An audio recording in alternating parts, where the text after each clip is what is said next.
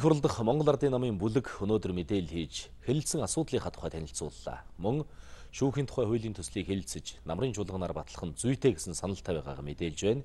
2019 оны ихээр Улсын хурлаас үндэсний аюулгүй байдлын зөвлөмжөөр шүүх хуулийн байгууллагын удирдлагуудыг өөрчлөх хууль батлагдсан. Үүнийг хүчингүй болгох тухай хуулийн төслийг Монгол Ардын намын бүлгийн 13 гишүүн өргөн барьсан юм.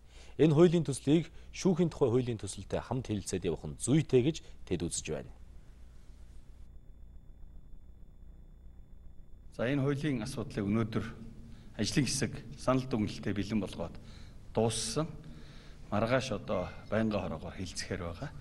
Тэгээ энэний өмнө нь энэний өмнө нь бас одоо намын бүлгээр энэ шүүхийн тухай хуулийн гоолгол зарчмын саналуудыг ярьж бүлгээс тодорхой шийдвэрүүд гаргасан байгаа. Бид чинь 2020 оны сонгуульд нэг том амлалт аваад байгаа шүү дээ.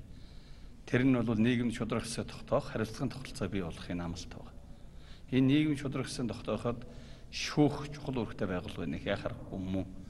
Тийм учраас шүүхийн тухай хуулийн дээр нэлээд юм нөхцөлтэй ажил хийж байгаа юм аа. Баггүй байна.